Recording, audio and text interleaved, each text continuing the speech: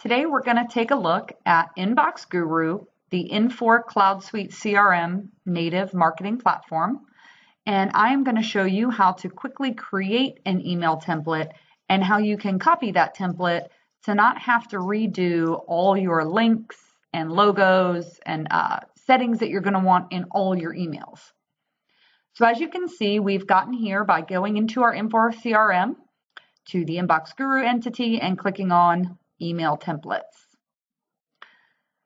Here you'll see your list of templates you've created. You'll go to the right and there is an actions button. Go ahead and select new template. And I'm going to name it header footer option one. Maybe you have a few options of colors and things uh, for your marketing, so you might make a few different options. Okay, I'm going to leave it as marketing and drag and drop editor. And I'm going to hit create. And when this opens, you'll see that Inbox Guru gives you a standard setup to get you started so that you don't have to build out all your rows and content blocks. So it gives you at least something to start with. So just as a quick overview, as a reminder, when you scroll over throughout your template, You'll see it highlights different content boxes, different rows. Just as a reminder, this tool allows you to slide and move the rows around. Same thing when you go to a content block, you can use that tool to rearrange your content blocks. And when you click on the block, you'll see you get your editing options. First, you'll see you get a delete option. When you click on a text box, it brings up your text editing tools. And also, as you click throughout, you'll see on the right-hand side, that panel is changing. Those are all your options to edit background colors and column widths and padding to the cells. So as you can see, as you click, different options come up. So let's go ahead and make our standard header we know that we want to have our logo. So let's take, here are your different row options. I'm going to take a single row and I'm going to drag it. You'll see here, it lets me know I can put it there and I drop it. Now I need, as you can see here, this is an empty row because no content block has been added. I know I want an image for our logo, so I press and hold and I drag it over until I get the drag it here and release. Now we can go to our image library. This will contain anything that you've added to your image library.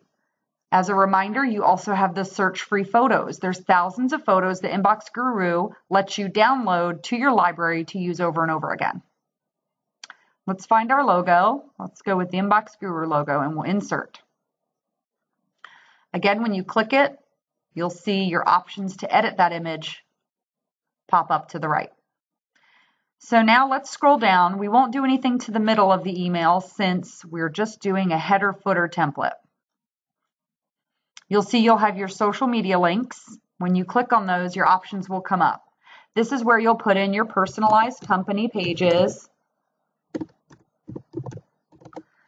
Okay, you can reorder these you can delete them if you don't use Google Plus, simply delete, and you can add more. You can even add a custom icon. Something I use at SimpleSoft is I do the custom icon and have it linked directly to our blog page. But as you can see, there's all the different others you can use. Okay. And then you go here to the bottom. This It already preloads your unsubscribe because you cannot send an email from Inbox Guru without having an unsubscribe link in there. So it always automatically puts that in.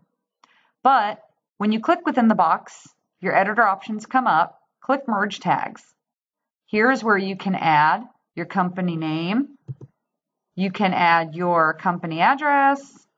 You can even add a message in here, maybe that you always want in the footer of your emails. You can add your phone number, email links, everything. And I like to do this template so that you don't always have to go back and re-hyperlink all this stuff. So see here, I'll go ahead and I'll hyperlink our email. And as you can see here, it's going to give you the option. I'm going to select email, but you can see there's some other pretty cool options, and I'll cover those in another one. Okay, you can even set subject line and hit OK. We can change our color here, make everything white. Now this will merge after you send, and these are made in your settings over here under administration. Okay, then we're going to go up to the top and we're going to hit save. Then go actions.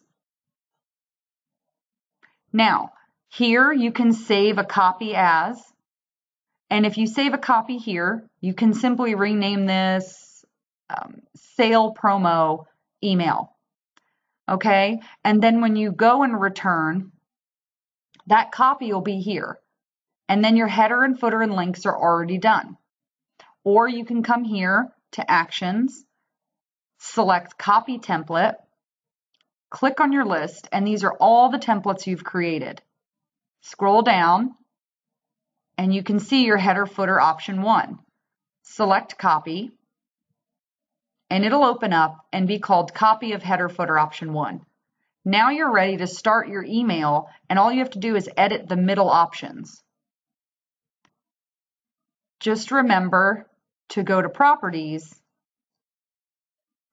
and you can rename this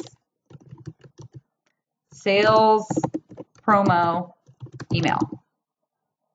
Change your subject line, hit update, and now your template is renamed and ready to be launched into a campaign and you don't have to rebuild all of your header footer links and information.